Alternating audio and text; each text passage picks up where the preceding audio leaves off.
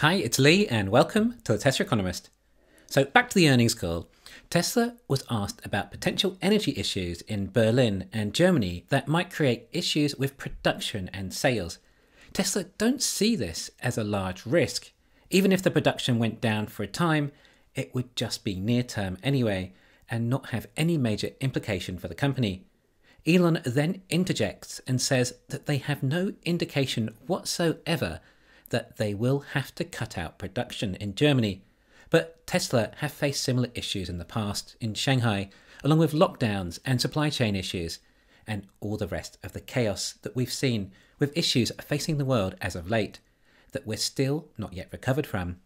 And now Tesla keep extra inventory in Shanghai rather than a just in time delivery as a buffer in case there are supply chain issues again. It may cost $100 million or something, keeping extra inventory for components, but if Tesla lose production for a week or so, it costs a lot more. Tesla don't want to risk losing production, not when they are so profitable. So it's worth investing in buffers and safeguards to prevent any risk of production loss. And even despite Tesla not expecting any similar scenarios due to energy shortages in Germany, they're still not going to risk it and have put backups in place for just in case. And they haven't stopped there either, but done the same for their suppliers too. I keep saying, Tesla are not messing around. Then we're asked many questions about Cybertruck progress. They say they are still on track to enter production at the middle of next year. In other words, nothing has changed, and Tesla are still on track with everything as far as Cybertruck is concerned. No setbacks have occurred, supposedly. I mean, Tesla and Elon have a reputation of delivering late, but bear in mind, we did just go through a massive global pandemic that was tough for all businesses. Yet remember, Tesla still managed just about 50% growth through that time.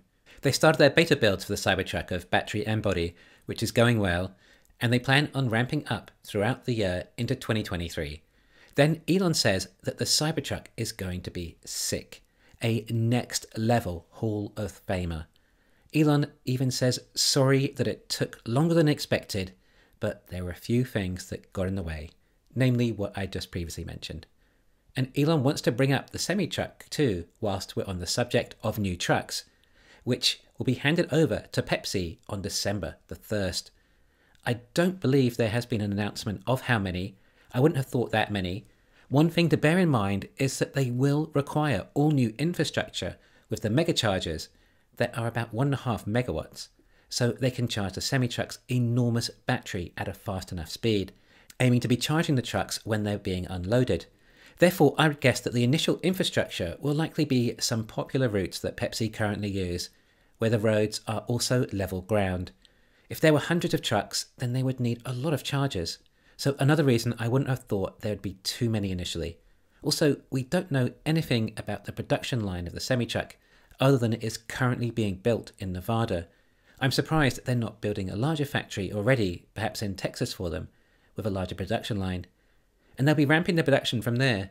And this is a max load heavy Class A truck with no sacrifice to cargo capacity, yet still capable of 500 miles of range with the cargo.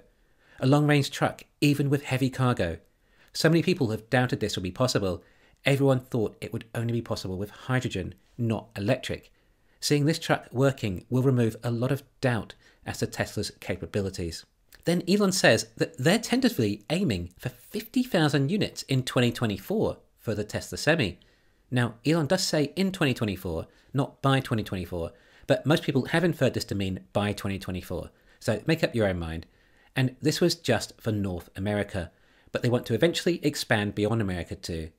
Now, 50,000 semi-trucks at almost a megawatt hour of battery per semi-truck is going to be close to 50 gigawatt hours of cells required. Now, bear in mind, they are also expanding Giga Nevada at the moment. The capacity there may be about 40 gigawatt hours a year. So, what if the 2170 cells are for that truck? I would have thought that Tesla would want to eventually expand production of the semi truck a lot to potentially hundreds of thousands a year. So, I think inevitably they will end up using 4680 cells. But the advantage of getting structural battery pack saving doesn't really make as big a deal when you weigh about £80,000 or so, as it's a much relatively smaller weight saving when compared to, say, a compact. This could also mean that Tesla may want a lot of the semi trucks for themselves. It would appear right now we're seeing new bottlenecks in logistics, and there not being enough ways to deliver the vehicles. Tesla are renowned for vertical integration. If they make their own transportation trucks, then this is just one more level of vertical integration for them. The load would be fine. They could carry almost 20 Model 3s and Ys on each truck of equivalent weight, although I'm not sure there'll be big enough trailers for that. Elon then says each semi truck sacrifices several Model Ys, which I assume he is referring to the opportunity cost of cells. Given that the battery is probably about 10 times the size of a Model Y, then this is not that surprising. The thing is, 10 Model Ys is possibly around $200,000 gross profit, so this is quite a large opportunity cost. I mean, unless they're using 2170 cells only, and Tesla want to move Model 3 over to LFP, and move Model Y and robotaxis over to 4680s, I'm not really sure. Although the next question does ask what factors determine which vehicle gets 4680 or 2170 cells, along with the 4680 progress ramp. And we hear again that the total output is up three times quarter over quarter.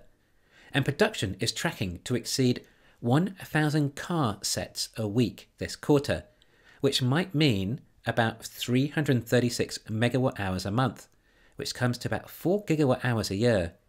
This is not really what I would call high volume production yet. They say the focus is now shifting from 100% ramp to cost and further expanding production capacity in North America, presumably because the dollar is so strong and there's so many incentives for building batteries in North America and EVs. I mean, they do seem positive about the 4680 cell progress, but there's nothing really that concrete here about them cracking the process yet. It's not quite the breakthrough I'm hoping to see that we were promised. So much of the company's future relies on this cell being sorted. I guess we have to keep on waiting. 4 gigawatt hours still isn't great. Even if we were at 10 times that, then it's not enough cells for Texas when ramped up.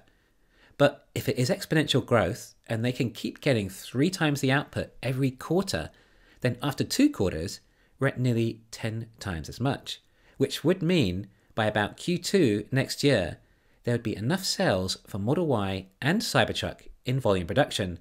Although personally, I think we're still waiting for some sort of engineering breakthrough, likely something to do with the dry battery electrode process for the cathode, which no one asked about.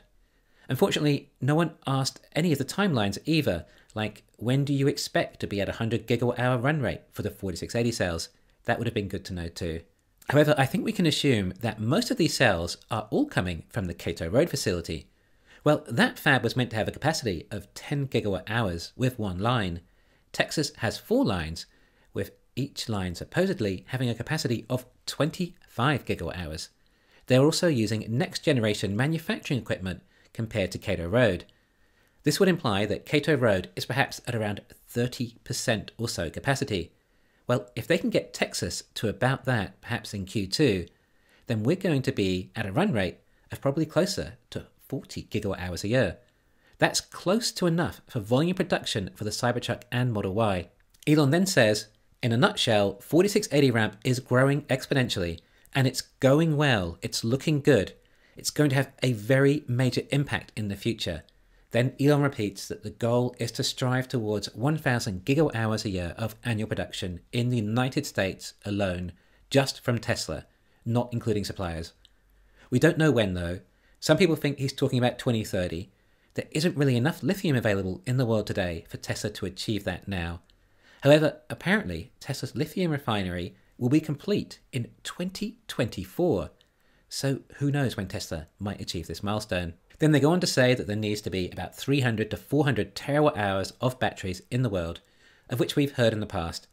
That is a big number, and even at a rate of 1,000 gigawatt hours a year, it will take 3 to 400 years to achieve that. So let's hope Tesla can ramp up significantly higher than that, along with all their suppliers and other battery manufacturers. Thanks for listening. Please hit the thumbs up and subscribe.